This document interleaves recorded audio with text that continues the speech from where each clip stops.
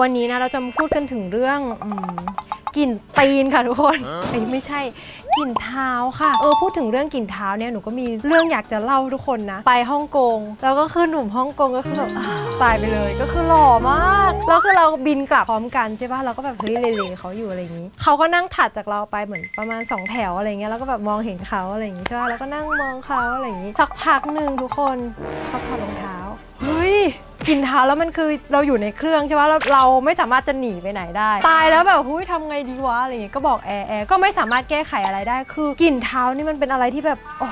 ไม่ดีเลยไม่โอเคเลย หนูก็เลยมีสูตรดีๆนะคะ ที่ถูกดีใช้ได้จริงมาฝากทุกคนค่ะ แต่ก่อนที่เราจะไปดูส่วนผสมนะคะ ก็